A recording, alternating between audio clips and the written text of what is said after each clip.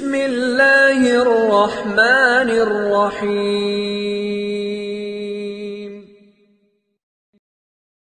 बसमीम वबिही नस्तीन आज हम बात करना चाहते हैं उन भाइयों और बहनों के सवाल से मुतल्लिक़, जो हमसे कहते हैं कि हम दरुशिफ की तादाद को बढ़ाना चाहते हैं।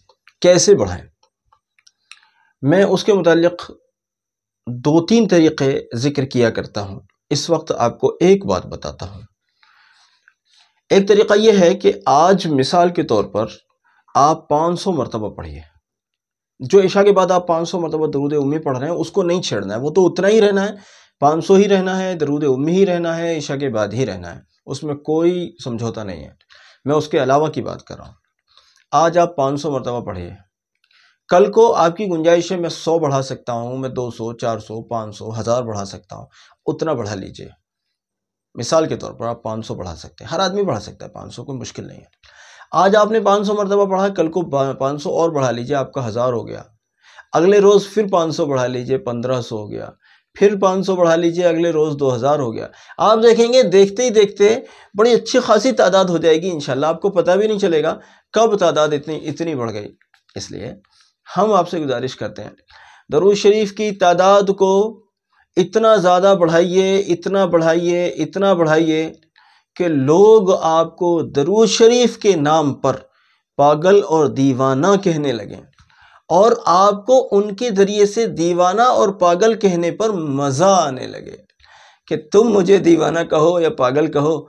मुझे मेरे महबूब सल्लल्लाहु अलैहि वसल्लम अगर मुझे अपना कह दें तो बस मेरा काम बन गया। मेरा काम बन गया। दुनिया मुझे पागल कहे, मुझे दीवाना कहे, मुझे मजनू कहे, जिसको जो कहना है कहे। अगर मेरे अका व मौला सल्लल्लाहु अलैहि वसल्लम मुझे अगर अपना कह लें तो बस मेरा काम बन गया। मुझे लोगों के दीवाना कहने की कोई परवाह नहीं है। जिसको जो कहना है कहो। इतना दरूद शरीफ पढ़ो कि लोग तुम्हें दीवाना कहने लगे और अल्लाह करे नबी सल्लल्लाहु अलैहि वसल्लम आपको अपना कहने लगे। ये तो मेरा है। ये तो मेरा है। बस समझ लीजिए कि दरूद पढ़ने वालों, तुम्हारी महराज है वो दिन जब तुम्हें नबी सल्लल्लाहु अलैहि वसल्लम अपना कहते हैं ये तो मेरा है। ये तो मेरा है। और तुम्हारे लिए सिफारिश करने के लिए नबी सल्लल्लाहु अलैहि वसल्लम खड़े हो जाएँ।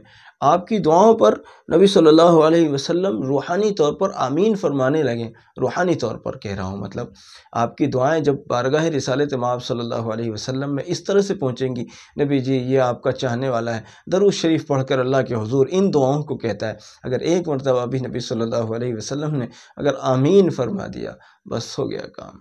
एक मरतबा भी नबी सलाम ने अगर आपकी दुआओं पर अल्लाह के हजूर अगर सिफारिश कर दी, हो गया मियाँ काम, हो गया काम, हो गया काम। फिर क्या रखा है? और और आप ये ना समझना, ऐसे कितने वाक़ात हैं कि बंदा नबी सल्लल्लाहु अलैहि वसल्लम की नात लिख रहा था या पढ़ रहा था, नबी सल्लल्लाहु अलैहि वसल्लम पर दरूद और सलाम भेज रहा था या लिख रहा था या पढ़ रहा था। और अपनी कोई हाजत भी रखता था, कोई बीमारी रखता था। अल्लाह के रसूल सलाम पर ये दरूद और सलाम भेजने या ये ये सलात और सलाम भेजने और ये नात पढ़ने या लिखने या पढ़वाने की बरकत से, अल्हम्दुलिल्लाह उसके वो अजीम शान काम, वो मुश्किल तरीन काम फ़ज़ल खुदाबंदी से बन गए, जिनसे ये ख़ुद भी मायूस बैठा हुआ था। जिनसे ये ख़ुद भी मायूस बैठा हुआ था। इसलिए इसलिए दरूज शरीफ के दीवानों दरूज शरीफ के चाहने वालों दरूज शरीफ के आशिकों दरूज शरीफ की वो दीवाना वार कैफियत अपने ऊपर तारी कर लो कि दरूज शरीफ के बग़ैर तो खाना भी हज़म ना हो। दरूज शरीफ के बग़ैर खाना भी हज़म ना हो। दरूज शरीफ के बग़ैर पानी भी हज़म ना हो। दरूज शरीफ के बग़ैर नींद भी ना आए। दरूज शरीफ के बग़ैर तुम, तुम्हारे लिए घर से निकलना मुश्किल हो जाए।